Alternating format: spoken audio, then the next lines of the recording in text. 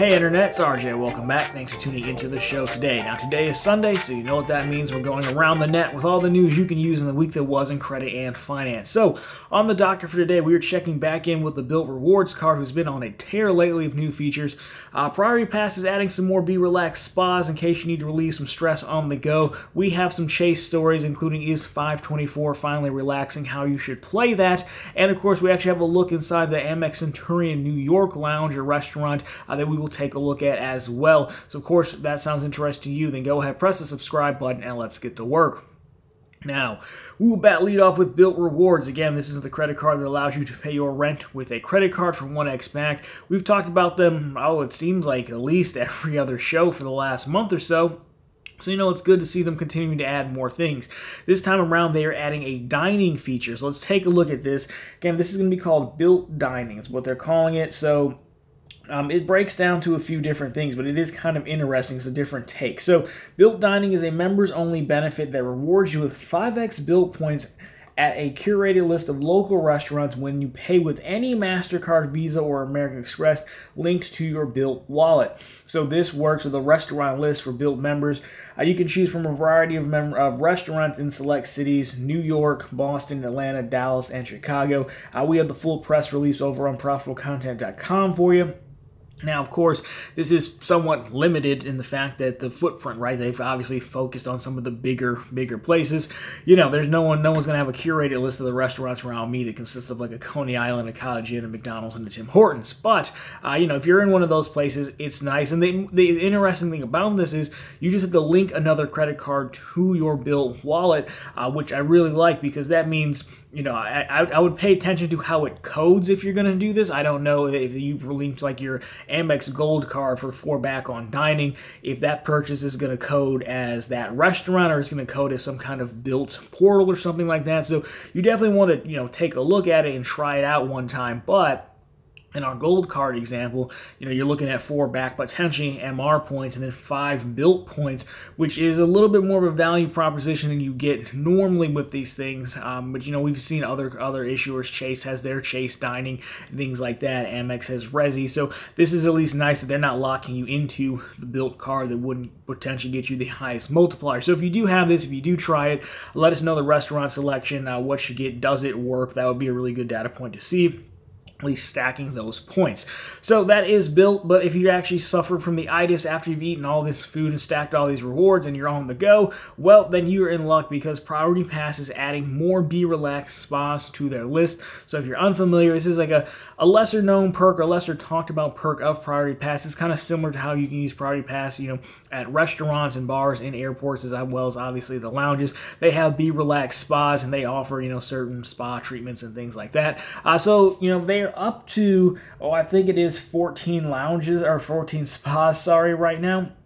And so I'll put the list on screen, but you're, again, you're talking major airports Atlanta, Dallas, Fort Worth, Detroit Metro, shout out LAX, New York, um, Kennedy and LaGuardia, Philadelphia, San Diego, you've got Toronto and a few spots there. So overall, I mean, not too bad option wise. Now, you do have, you know, your choice, I guess, of, of perks. There's like three different services you can get. They're about 30 minutes each. Overall, I've never tried this. I have walked past the Be Relaxed Spa, thought about it, like, could you make a video out of this? Probably. I'm sure someone's done it. So overall, I mean, I don't think this is a big perk. I mean, the real question is, you know, a lot of these Priority Pass memberships have actually been pulling benefits, especially the restaurant benefit. That one has been going away a lot. So will Priority Pass, you know, the card issuers who pay for this membership on our behalf, or as part of the annual fee, I should say, will they continue to honor this? But either way, I mean, you know, anytime it doesn't cost you anything and they add something, I say it's fine because if you use it, then fantastic, and if you don't, then uh, no big deal because it didn't cost you anything. Now, our next one, if you're talking about, you know, the the pinnacle, the king of lounges, perhaps is American Express. But this time, we're not in the airport. We're talking about their Centurion, New York. So we we talked about this. Oh, it had to be maybe back in uh, March, April, something like that. Where we're still in April, so maybe February or March uh, they were opening kind of like a bar restaurant type deal in New York.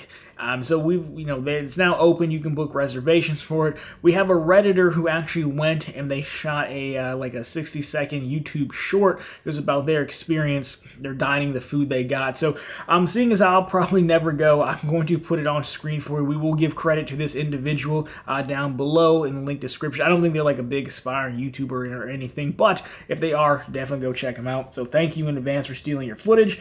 Um, now overall, I mean, it, it looks as nice as you would expect, honestly. Um, you know, you can see kind of the food they're going for, the feel of the uh, the overall lounge. I mean, which we didn't expect it to look anything else but nice, honestly. Now, it's hard for me to comment fully because again you're talking to a guy right now who ate a full DiGiorno frozen pizza by himself uh, earlier this weekend. So I mean, you know, what am I really going to say here about the food in the menu? Right? It's uh, I'm not a fancy foodie, so it's probably not necessarily for me. But again, that's fine. We know they're not targeting me. Overall, I think it looks nice. Uh, the view, especially at the end. I mean, they, we know they're kind of like what the 55th floor that building that they're in. So uh, the Vanderbilt building, I think it was. So obviously the view, you know, in the lounge and everything, it looks really nice over there. So if anyone has actually been or going to go, definitely let us know. We'll use your footage as our on-site reporter, on-location reporter. Um, overall, again, thanks to this individual for making the YouTube short for us so we could see into it. Again, I mean, there has been word that you don't have to even have like a, a Centurion or a Platinum card to actually book. I, so I don't know if they're just going to like give priority order to those who are, you know, actually members or not. Uh, so we'll see. But overall, there is a look inside of it. I know a few other outlets had pictures as well. So just something fun to take a look at. Now with that, we have two chase stories to close us out on. So the first one is a quick hit. So, you know, the Freedom cards, the OG Freedom and the Freedom Flex, their categories for 5% back in Q2 are Lowe's and Amazon. Um, way back when, Amazon also used to include Whole Foods. They used to specifically say it, and uh, they didn't this time. So, um, the doctor of credit, the good doctor looking out for us, as he always is, reached out to Chase, or they reached out to him, however it works, and Chase has confirmed to him that Whole Foods will actually count for your 5% category. Uh, so, you know, if you want to make a whole what what did I used to say? Whole Foods or Whole Check? What was that? That the joke everyone used to make about Whole Foods? I don't know, I haven't been there in quite some time. Again, the DiGiorno pizza thing earlier, right? Uh, but uh, if you are in need or like Whole Foods, this is a is a game changer. It does make it even easier. Not that Amazon was really that hard. Uh, they used to have an Amazon or Whole Foods and Chase branded card. It was the exact same as the Amazon card, so I guess that doesn't surprise me too much. So there is that. Now, the last chase story centers around our Sapphire Preferred Elevated offer and the good old 524. So first of all, Sapphire Preferred, it has two offers right now. Uh, you can go online and get 80,000 points for $4,000 in spend, which is a pretty standard amount of spend. Um, we have channel member links. So they're not affiliate links, but they're members of our YouTube community, our channel memberships you're interested, you can check the join button down below. But they're on profitablecontent.com. You just click the Sapphire card. You'd be helping out one of your own. So, you know, if you're considering that, by all means. Now, the other offer is in Branch, which is the one I did, which is 90,000 points. Um, and the annual fee is not waived. I'd spend $4,000, I think, in three months, and you have another, you have six months total to spend $6,000 all in. That gets you your, your last 10,000 points to get you to the 900. I went in Branch. I did this. You're probably only there for five, ten minutes. It's much quicker quicker than opening a bank account, right? So these offers are in the news.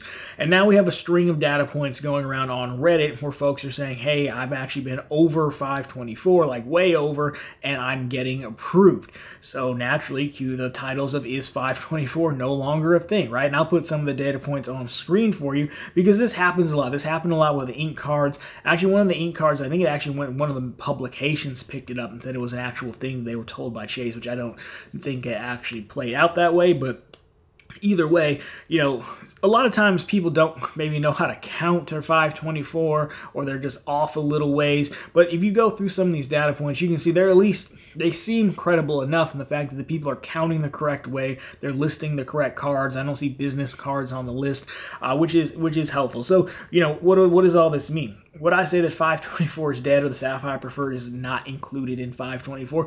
No, I mean, I think you know, there's there's something going on, right? I do think there's something going on. We will never know what that something is. I mean, Chase barely acknowledges 524. The only acknowledgement they really give you is in the denial letter when it says like too many cards in the last 24 months or something like that. So, you know, for you, if you're, I would say if you're borderline, if you're like, you know, hey, I'm going to be under 524 in a little bit, I still don't think there's a rush because Chase has actually started giving us a last call on these offers. They'll put like an ending soon thing on there. So, you know, I would wait until you see that first because there's no real rush, especially for the online 80K, the in branch one. Usually word gets out through one of the bankers, hey, that it's ending soon to one of the publications, usually the doctor, and then we all talk about it. So I would just wait and see. Now, if you're like, hey, I'm miles over, then I would sure, why not? I think this is worth a dice roll, and it's a very low stakes dice roll, in my opinion. Because if you're that far over, then you probably aren't scared of a hard pull or two, so you don't want to waste them by any means, but you're clearly not scared of them. So one hard pull, the upside is 80 or 90,000 points, depending on which offer you choose, um, or a or an empty hard pull so that's kind of how I would look at it. You know, I don't know enough to say that it's suspended because we have still seen people being denied over 524 as well. So I haven't seen anything that gives us an inkling to the rhyme or reason or how they're deciding, and we'll likely never know. Well, most of their underwriting stuff is kind of you know in a black box deep within headquarters, right? Or just Jamie Dimon keeps it under his bed. I don't know. Um, so there is that. Either way, there is more hope. You should definitely you know consider giving it a shot. Now, I would say I would still push the limit if I hadn't been under uh, 524 when I I applied. I think I'm at 424 now, but to finish off the thought on that, when I did apply in branch, again, it was five, maybe 10 minutes max. Um, I think I was at 324 at the time. I've gotten two Chase Ink cards this year. Um, one was in February. I think one was in in March. Uh, they were both ink cards, so about a month since my last application. So there's your data point on that. But again, I was underneath 524. So uh, if you have an experience with this, uh, let me know down below. It will greatly help everyone as well as which offer would you go for. Again, I think the one in branch is the one to go for. But if not, again, profitablecontent.com. We have plenty of Sapphire links for you. Anyways, guys, that has been the news for this week. So, of course, if you liked it, drop me a thumbs up down below. If you found it particularly interesting, consider subscribing to the channel. Because, again, we're posting content just like this every single week. Of course, every Sunday with all the news you can use in the week that was, and every single day over on ProfitableContent.com.